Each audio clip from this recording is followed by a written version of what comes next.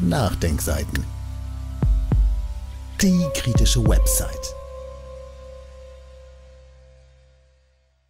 Einigen gefallen unsere Erfolge nicht. Der Tod des iranischen Staatspräsidenten, Reaktionen und mögliche Folgen. Ein Artikel von Karin Leukefeld. Im Iran ist Präsident Ibrahim Raisi bei einem Hubschrauberabsturz ums Leben gekommen. Mit ihm starben Außenminister Hussein Amir Abdollahian, der Leiter des Freitagsgebetes in Tebris, Ayatollah Mohammed Ali al-Hashem, der Gouverneur der iranischen Provinz Ostaserbaidschan Malek Ramati der Leiter des Begleitteams der Präsidentengarde Mehdi Mousavi und vier weitere Begleiter, darunter die Hubschraubercrew. Der Absturz ereignete sich am vergangenen Sonntag, den 19. Mai 2024 am späten Nachmittag bei schwierigem Wetter unweit des Ortes Jolfa, nach der Grenze zu Aserbaidschan, in der nordwestiranischen Provinz Vasakan. Zwei weitere Hubschrauber des Präsidentenkonvois landeten sicher in Täbris. Schnell verbreiteten sich auf Internetkanälen Theorien und Spekulationen darüber, was den Absturz verursacht haben mochte. Die Suche von mehr als 40 Rettungsteams des iranischen Roten Halbmondes blieben wegen Regen, Nebel und einbrechender Nacht in der weit über 1000 Meter hohen gebirgigen Landschaft lange erfolglos. Auf Anfrage des Irans aktivierte die EU das Satellitensystem Copernicus EMS, wie der EU-Kommissar für humanitäre Angelegenheiten Janes Linacic per X vormals Twitter mitteilte. Das System könne helfen, den Ort zu finden, an dem der Unfall passiert sei. Copernicus EMS erstellt Kartenmaterial, das auf Satellitendaten basiert, hieß es in einer EU-Erklärung. EU-Ratspräsident Charles Michel erklärte, man verfolge die Entwicklung aufmerksam. Die Türkei, Irak, Saudi-Arabien, Aserbaidschan und Russland boten dem Iran Hilfe an. Am nächsten Morgen erreichten die Rettungsteams die Absturzstelle. Der Hubschrauber war offenbar bei einer sogenannten harten Landung auseinandergebrochen und in Brand geraten. Keiner der neun Passagiere hatte überlebt. Im Iran wurde eine fünftägige Trauer erklärt, Fahnen wurden auf Halbmast gesenkt. Nach einer ersten Trauerfeier in Täbris wurden die sterblichen Überreste nach Qom gebracht. Am Donnerstag, den 23. Mai, soll Ibrahim Raisi in seiner Geburtsstadt Massad beerdigt werden. Tausende nahmen an den offiziellen Trauerfeiern teil. Einige freuen sich. Aus den kurdischen Gebieten im Westen des Landes wurde dagegen von Autokorsos und Freudenfeiern berichtet, um das Ende des verhassten Herrschers zu feiern, wie die kurdische Nachrichtenagentur ANF berichtete. In Berlin feierten iranische Oppositionelle der Volksmudschahedin vor der iranischen Botschaft. Wir freuen uns aus tiefstem Herzen über den Tod von Raisi, wurde eine junge Frau in einer Zeitung zitiert. Die UNO kondoliert. Kondolenzschreiben und Trauerbekundungen erreichten den Iran aus aller Welt. Die Staatschefs und Könige der arabischen Golfstaaten Katar, Vereinigte Arabische Emirate und Saudi-Arabien, aus dem Irak, Syrien, Libanon, Jordanien und Ägypten, aus Russland, China, Indien, Pakistan, Malaysia, Türkei, Aserbaidschan, Venezuela, Brasilien kondolierten. Seine Trauer und Nähe im Gebet bekundete in Römisch Papst Franziskus, wie die Vatikan-Nachrichten mitteilten. Beileid sandte der Präsident der nordirakischen Kurdenregion Nashviran Basani. Neben Hisbollah, Ansar Allah, Houthis und Hamas trafen Trauerbotschaften auch von der Volksfront zur Befreiung Palästinas und anderen palästinensischen Organisationen ein. Für die palästinensische Autonomiebehörde bekundete Mahmoud Abbas sein Beileid. UN-Generalsekretär Antonio Guterres teilte seine Trauer mit. Im UN-Sicherheitsrat erhoben sich die Botschafter zu einer Schweigeminute. Ebenso taten es die Teilnehmer einer Konferenz der Internationalen Atomenergiebehörde IAEA e über nukleare Sicherheit in Wien. Die UNO senkte die Fahnen auf Halbmast, ein Ritual, das im Amt verstorbenen Staatspräsidenten zuteil wird. Die Spitzenkandidatin einer deutschen Partei für die EU-Wahlen kommentierte das mit einer X-Botschaft als Schweigeminute für einen Massenmörder und als moralischen Absturz. Das US-Außenministerium teilte derweil durch einen Sprecher das offizielle Beileid mit. Und Charles Michel, Präsident des Europarates, sprach für die EU aufrichtiges Beileid aus. Die Gedanken seien mit den Familien der Verstorbenen. Auch der EU-Außenbeauftragte Josep Borrell kondolierte. Am Dienstagnachmittag fand sich auf der Website bundeskanzler.de die Pressemitteilung 125, ein knappes Schreiben von Bundeskanzler Olaf Scholz. Einigen gefallen unsere Treffen und die gemeinsamen Erfolge nicht. Am Morgen des tödlichen Absturzes hatte sich der iranische Präsident an der Grenze zu Aserbaidschan mit dem aserbaidschanischen Präsidenten Ilyam Aliyev getroffen. Die etwa 450 Kilometer lange Grenze wird vom Grenzfluss Aras markiert, der im äußersten Nordwesten den Iran auf einer gesamten Länge von rund 1200 Kilometern von Aserbaidschan, Armenien und der Türkei trennt. Beide Politiker hatten den Kiskalasi-Damm eingeweiht, ein gemeinsames Infrastrukturprojekt, das von iranischen Ingenieuren gebaut worden war und etwa 220 Kilometer nordöstlich der iranischen Stadt Tebris liegt. Der Damm, dessen Bau vor rund 20 Jahren begonnen worden war, gilt als das größte gemeinsame Wasserprojekt zwischen beiden Ländern, wie der iranische Energieminister Ali Akbar Merabian am Tag der Einweihung vor Journalisten in Teheran sagte. Ein zweiter Damm, Koda Afarin, wurde schon vor Jahren am Arasfluss gebaut. Der Kiskalasi-Damm soll zukünftig rund 2 Milliarden Kubikmeter Wasser regulieren. Die beiden iranischen Provinzen Ardabil und Ostaserbaidschan auf iranischer Seite sollen zu den Hauptabnehmern des Wassers gehören. Auf beiden Seiten der Grenze soll das Wasser die Landwirtschaft und den Schutz der Umwelt fördern, so Merabian. Ein wichtiges Ziel sei auch die Eindämmung und Kontrolle von Überschwemmungen. Die Nachrichtenagentur IRNA schrieb in einem Vorabbericht über die Einweihung am gleichen Tag, der Damm werde alle feindlichen Versuche blockieren, die iranisch-aserbaidschanischen Beziehungen zu stören. Anstrengungen, insbesondere des zionistischen Regimes, sich in die iranisch-aserbaidschanischen Beziehungen einzumischen, hätten die Freundschaft zwischen Teheran und Baku erneuert und gestärkt. Am Tag der Einweihung des Staudammes erklärten sowohl Raisi als auch Alayev, dass beide Länder von diesem modernen Damm profitieren würden. Ihr Treffen symbolisiere nicht nur den technischen Fortschritt, sondern auch, dass beide Länder zum Wohl ihrer jeweiligen Bevölkerung bei so wichtigen Entwicklungen zusammenarbeiten könnten. Einigen gefallen unsere Treffen und unsere gemeinsamen Erfolge nicht, wird Raisi im Protokoll der aserbaidschanischen Seite zitiert. Die Hauptsache ist, dass wir gemeinsam umsetzen können, was gut für unsere Länder, unsere Staaten und unsere Völker ist. Aleyev sprach von einem schönen und hellen Kapital in der Geschichte der iranisch-aserbaidschanischen Beziehungen.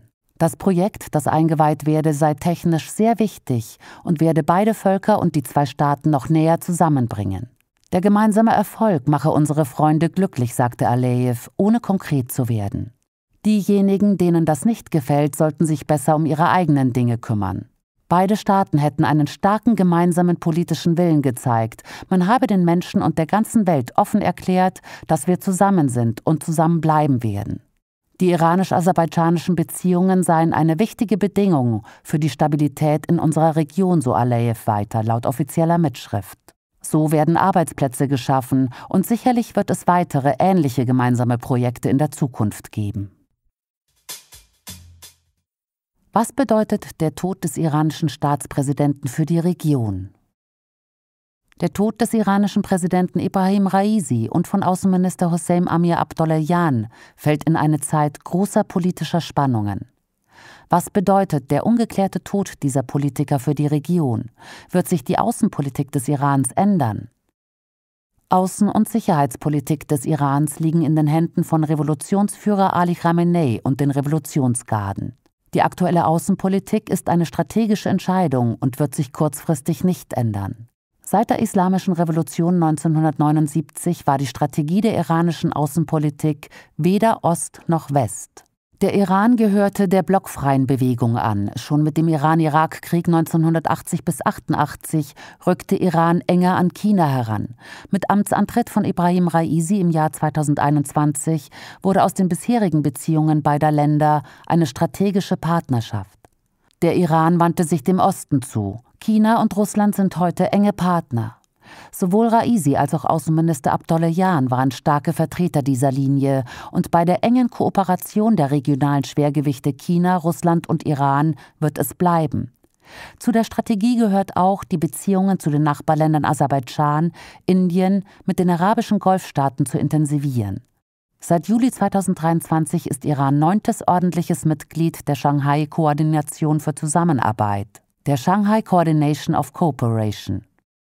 Seit dem 1. Januar 2024 gehört Iran dem Bündnis der BRICS-Staaten an. Zum gleichen Zeitpunkt wurden auch die Vereinigten Arabischen Emirate, Saudi-Arabien, Ägypten und Äthiopien aufgenommen. Die deutliche Wendung des Iran gen Osten hat auch mit den von den USA seit 45 Jahren verhängten Sanktionen gegen Iran und mit den EU-Sanktionen zu tun. Die nationale wirtschaftliche Entwicklung des Iran wird vom Westen blockiert. China und Russland und die internationalen Bündnisse mit dem globalen Süden weisen dagegen Perspektiven auf. Welche Folgen könnte der Tod von Raisi für die Aktivitäten pro-iranischer Milizen im Libanon, in Syrien und andernorts haben? Die sogenannten pro-iranischen Milizen im Irak, Syrien, Libanon und Jemen werden auch als Achse des Widerstandes bezeichnet. Das bedeutet, man widersetzt sich dem Vormarsch der Infiltration und Einmischung der USA und deren Partnerländer auch militärisch in die Region des Nahen und Mittleren Ostens Westasiens. Diese Strategie geht zurück auf die Zeit des dritten Irakkrieges, auf die Invasion von USA, Großbritannien und einer sogenannten Koalition der Willigen in den Irak wegen angeblicher Massenvernichtungswaffen. Das war 2003. Es war ein US-geführter Krieg im Rahmen des Kriegs gegen den Terror seit 2001 und er wurde ohne ein Mandat des UN-Sicherheitsrates geführt. Die Achse des Widerstandes ist für den Iran von strategischer Bedeutung und wird auf absehbare Zeit sicher nicht aufgelöst werden. Manche sagen, der Iran will seinen Einflussbereich erweitern und sie sprechen sogar von Besatzung. Der Iran selber sagt, sein Engagement mit militärischen Partnern im Irak, Syrien, Libanon ist Teil der nationalen iranischen Sicherheitsstrategie. Sicherheit in Syrien bedeutet Sicherheit im Iran, heißt es. Im Übrigen agieren die bewaffneten Gruppen und Milizen heute weitgehend unabhängig vom Iran. Der Iran, die Revolutionsgarden haben diese Gruppen seit den 1980er Jahren, es war die Zeit des ersten Golfkrieges zwischen Iran und Irak 1980 bis 88, unterstützt, ausgebildet, bewaffnet. Heute haben diese Organisationen politische Parteien gegründet. Sie haben nationale Interessen. Sie nehmen keine Befehle aus Iran an. Sie stehen mit Iran im Dialog. Allerdings gibt es in den jeweiligen Staaten Irak, Syrien, Libanon und Jemen auch politische Kräfte, die weder Dialog noch Kooperation mit Iran wollen. Sie bezeichnen die bewaffneten Gruppen und deren politische Parteien als Marionetten des Irans. Diese politischen Kräfte könnten den Tod von Raisi und Abdollahian für eigene Interessen nutzen. Beide Politiker waren sehr aktiv, reisten viel, suchten den Dialog. Sie hatten Erfahrung, bauten Vertrauen mit alten und neuen Bündnispartnern auf. Die Gegner des Iran, besonders ausgeprägt findet man sie im Libanon, könnten Unruhen, Proteste organisieren. Dabei könnten sie, wie schon häufig zuvor, vom politischen Westen, von den USA und der EU unterstützt werden. Das US-Außenministerium beispielsweise erklärte sein Beileid zum Tod von Raisi und der Delegation. In der gleichen Erklärung heißt es, man versichere dem iranischen Volk, dass man es bei der Wahl eines neuen Präsidenten und seinem Kampf für Menschenrechte und grundlegende Freiheiten unterstützen werde. Das kann man auch als Ankündigung von Einmischung verstehen. Könnte die Suche eines Nachfolgers für Ali Khamenei, dem religiösen Führer des Iran, nun zu einem Machtkampf führen? Ibrahim Raisi wurde als möglicher Nachfolger genannt. Diese Frage wird in den religiösen Kreisen mit allen wichtigen Klerikern besprochen und letztlich entschieden. Regionale Kenner des Landes beschreiben diese religiöse und politische Elite als stark und gefestigt. Sie sei in der Lage, Widersprüche auszutragen und zu begradigen, heißt es. Spekulationen gibt es diesbezüglich vor allem außerhalb des Iran in ausländischen Medien. Solche Spekulationen können zu Unruhen führen, zumal der Iran nicht zuletzt wegen der US- und EU-Sanktionen gegen das Land seit Jahrzehnten in einer schweren wirtschaftlichen Krise ist. Man hofft, durch die neuen internationalen Bündnisse einen Ausweg aus der westlichen Drangsalierung zu finden. Ein innerer Machtkampf nutzt nicht dem Iran, sondern den Gegnern eines souveränen Staates Iran. Die Beziehungen zwischen dem Iran, dem Westen und Israel sind angespannt. Ist es möglich, dass bei dem katastrophalen Hubschrauberabsturz womöglich eine Drittpartei eine Rolle gespielt hat? Das kann nicht ausgeschlossen werden. Tatsächlich kursieren schon verschiedene Spekulationen auf Videokanälen im Internet. Israel, der israelische Geheimdienst, findet bekanntlich viele Wege und Handlanger, direkt oder indirekt seinen Gegnern zu schaden. Aber nichts ist klar. Die iranische Armee hat mit der Untersuchung schon begonnen. Dazu gehört, dass Russland unmittelbar nach Bekanntwerden des Hubschrauberabsturzes gegenüber dem iranischen Botschafter in Moskau die Unterstützung bei der Bergung und auch bei der Untersuchung der Absturzursachen zugesagt hat. Russland ist da sehr erfahren und wird jeden Stein umdrehen. Wir müssen das Ergebnis der Untersuchung abwarten. Viele Länder haben ihre Solidarität mit dem Iran bekundet. Im Westen zeigt sich wenig Mitleid und wenig Beileid für den verstorbenen iranischen Präsidenten. Wie bewerten Sie die Reaktion? Sehen wir auf Deutschland, fällt auf, dass der deutsche Bundeskanzler Scholz sehr spät, sehr knapp, sehr unpersönlich sein Beileid äußerte. Anders EU-Ratspräsident Charles Michel und auch der EU-Außenbeauftragte Josep Borrell, die ihr Beileid unmittelbar nach Bekanntgabe des Todes von Raisi und seiner Delegation übermittelten.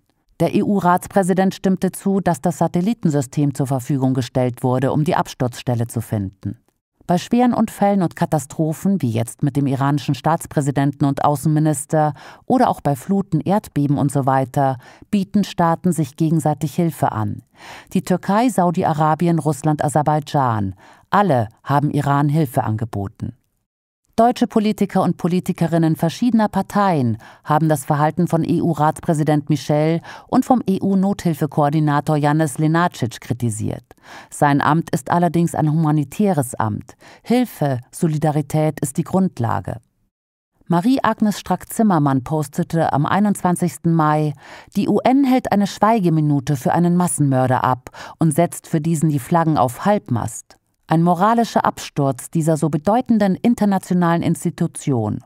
Und Antonio Guterres ist offenkundig der Bruchpilot.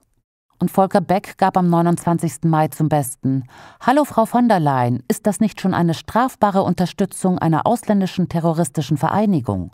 Der Präsident des Iran ist ein Massenmörder und Geiselnehmer.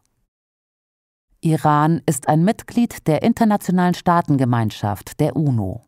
Die Vereinten Nationen sind ein Instrument der Diplomatie. Hier haben alle Mitglieder die gleichen Rechte und Pflichten. Die Werte, auf die sich deutsche Spitzenpolitiker neuerdings gerne berufen und nutzen, um sich über andere zu erheben, stehen seit Jahrzehnten in der UN-Charta. Von Spitzenpolitikern, die Deutschland auch noch nach außen repräsentieren wollen, muss man erwarten können, dass sie sich entsprechend verhalten. Quellenangaben und weiterführende Verlinkungen finden Sie auf www.nachdenkseiten.de oder im Beschreibungstext unter dem YouTube-Podcast. Dieses Audio konnte nur entstehen, weil zahlreiche Leser und Leserinnen die Nachdenkseiten fördern und durch Spenden unterstützen. Wenn Sie auch etwas tun wollen, klicken Sie einfach den entsprechenden Button auf unserer Website an. Übrigens, Sie können uns auch bei iTunes, SoundCloud und YouTube hören und wenn Sie mögen, gerne unseren Kanal abonnieren und eine positive Bewertung für uns abgeben.